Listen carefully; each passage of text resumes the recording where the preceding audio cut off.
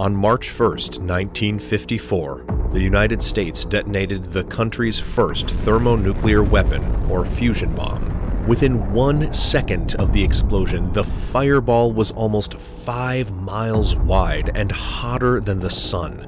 Within one minute, the mushroom cloud was higher than most commercial planes fly.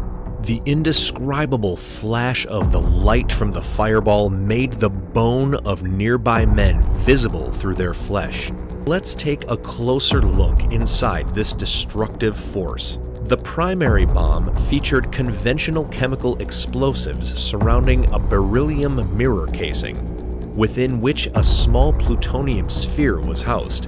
The secondary fusion bomb comprised a uranium cylinder, the fuel for the fusion reaction, lithium deuteride, and at the core of the cylinder sits a rod of plutonium.